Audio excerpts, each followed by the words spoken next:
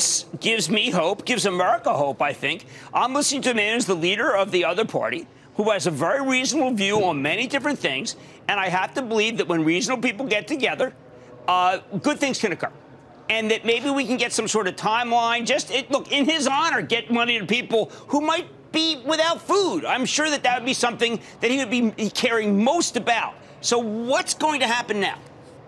What's going to happen, you're going to see on the Senate side, they're going to introduce a bill. And remember, our whole government is designed to have compromise. You've got a Senate, you've got a House. No one's going to get 100% of what they want.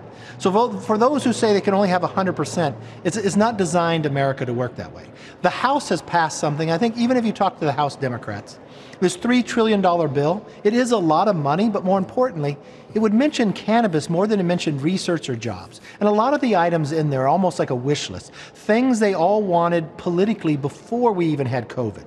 We should really focus. If we want to help America get through this pandemic, we should structure it public health and economics. Government told businesses to shut down, so people are out of work. So I think we have a responsibility to help them put that bridge for the small business, put that bridge for individuals. So unemployment insurance will be very important. But I don't, I'm not one who believes one size fits all in unemployment insurance. So I believe that's a place that we can work together. And I think that is one of the drivers will help us get it there. Also, liability protection. We know what trial lawyers will do.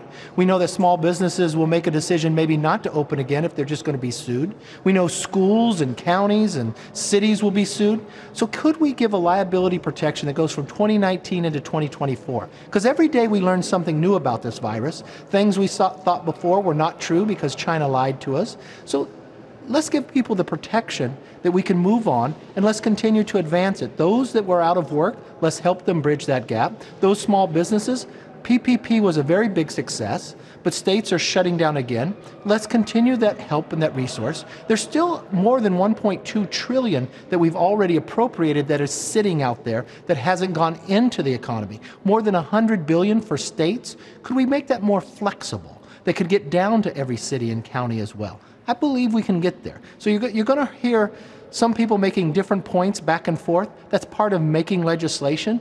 The deadline, I think, will probably get passed uh, July 31st, but I bet we probably get this done the first week of August. Don't miss a second of Mad Money. Follow at Jim Cramer on Twitter. Have a question?